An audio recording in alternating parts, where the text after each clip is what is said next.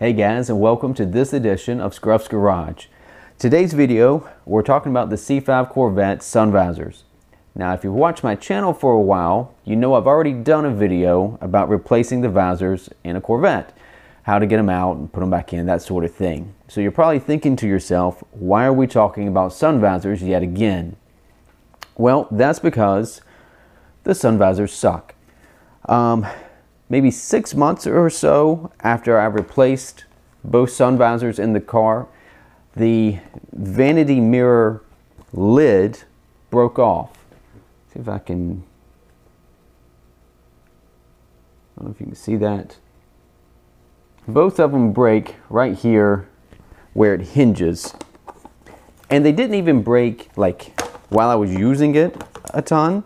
Um, they were in the car and then when I went to flip the visor down, the lid landed in my lap. Um, so they broke, not even being used. And honestly, in that six months, I probably drove the car, I don't know, a thousand miles. It's not my daily driver. And when it's not in use, it sits here in the garage. So it's not outside uh, baking in the sun either. So pretty disappointed because these sun visors are, I don't know, 80, 90 bucks a piece. Um, so you're paying a Corvette tax to begin with and then when they only outlast six months, uh, that's really disappointing. Uh, and so what happens when the visor um, vanity mirror lid breaks off, there's a little switch here, and that's what turns on and off uh, the lights. And so if the light's on all the time and the car is sitting, uh, it runs the battery down. Now I've got the car on a battery tender, so it's not the end of the world, but I don't want to leave it with the the mirror lights on all the time. That's just kind of bootleg. And at first I was like, well, fine, I'll just pop out the, the bulbs. But with these, I don't know if you can see in there very well. Um, they're an LED bulb and they're hardwired in there. So it's you can't just pop out the, the bulb. That would have been too easy. So in the meantime, I pulled out the fuse that runs the, the vanity mirror lights but I just hate having a car. I've got a bunch of money tied up in this thing, and I hate just feeling like it's bootlegged together. Um, so I finally broke down and decided I wanted to buy another set of uh, sun visors. And I, I had emailed the company I bought these from originally because I was like, hey, they only lasted six months. Basically, they were said, sorry, tough luck, no warranty on the, the sun visors. So that was pretty disappointing. So anyway, I wanted to buy a replacement, but I didn't want to buy the same thing again. And everywhere I looked, pretty much everyone sold this style sun visor. Uh, the two hinges at the top, the vanity mirror light switch uh, right here in the center. And this mirror is actually smaller than what the stock C5 was. This is more the C6 Corvette style uh, sun visor. So I didn't want to buy the same sun visor again because I have no reason to expect it would do anything different. But everyone seemed to sell just this one. They're probably all coming out of the same factory and they're just multiple outlets that sell the same thing. So I did a little searching around and I got these from Eckler's. Now Eckler's claims these are uh, a genuine reproduction of the original equipment uh, sun visor. So these are the exact C5 style sun visor. And you can tell, um, let's see if I can spin this around, the vanity mirror lid and all that sort of thing is actually larger, like I was saying, on the, the stock C5 versus, I think this is the C6 style. Um, so you can kind of tell them apart. And the hinges are slightly different and where the switch is at, it's different. And I did pop out one of these little lens covers. These just use the standard little incandescent tiny bulb. These are not the LED. I like the LED, um, but that's not what, what these are. And Eckler's claims these are made in the US versus these I'm pretty sure are made in China. Not that there's anything wrong with that, but I just didn't want to buy the same thing again because why should I expect different results? So uh, I bought these from Eckler's. They were on sale. I got them for like 85 bucks a piece. Just a couple of observations. Uh, not that I was that picky about the sun visors to begin with, but there are a few differences. The, the fabric that covers them is a little different. This is more of a satin kind of texture material, whereas this is more like a cotton, a little bit more matte finish to it. I don't particularly care one versus the other, but there's a slight difference. These feel a little nicer as well, like there's more cushion uh, to them versus this. I don't know, it's a little more just cardboard with fabric stretched over it. Um, I wasn't disappointed with these when I first put them in, um, and had they lasted a long time, I would have been completely happy with these. But the, like I said, the the vanity lid uh, broke off, so I went with these, and just observing some slight differences.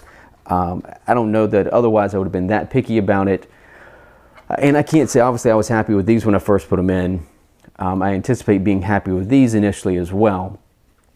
Uh, should these end up breaking or not performing the way you would expect such a basic part to work, I'll update in the comments um, if they this should break or the bulbs go out or there's anything dumb. But so anyway, just want to show you the differences between the, the two sun visors. Um, and in case you haven't seen the other video that I did specifically on installing these, I'll show you that portion as well, um, how to get the old uh, sun visors out and how these install. Uh, it's pretty straightforward once you see it done, but I'll, I'll put that in this video as well.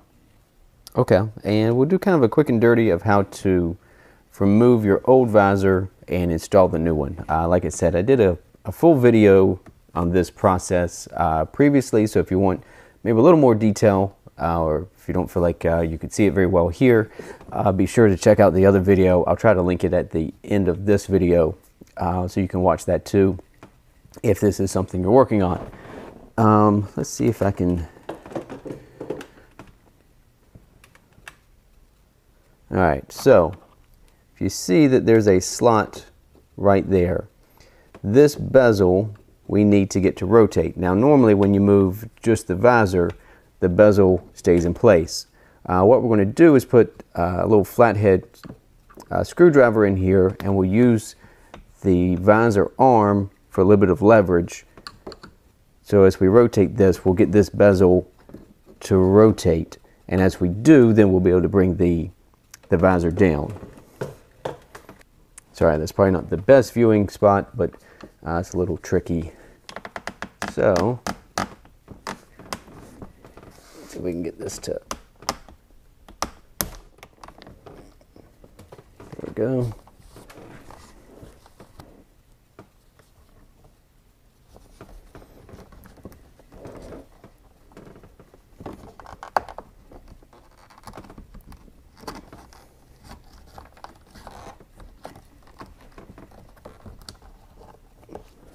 May have to take this trim ring down, there we go, to get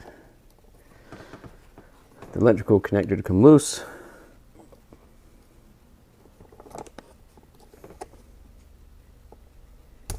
There we go. So we got the old one out. Okay, to reinstall, so this is the trim ring that goes up in here. There's an alignment tab, this that will only let you install this in one position. Uh, if you'll notice, of the triangle, there are two with kind of a sharp corner and then one of them with kind of a rounded off corner. That corresponds with the triangle on the sun visor itself. Uh, so if you notice, the one is a little rounded over corner and then these two corners are, are kind of sharp. Uh, when this goes in together, obviously you'll line those up so this can kind of only go in uh, in one direction. Of course, make sure you install this over the electrical connection.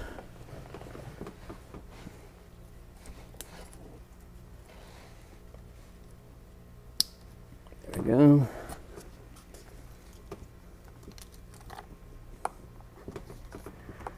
I'm not entirely sure why they give you so much um, wiring here. It makes it a lot more to fish into the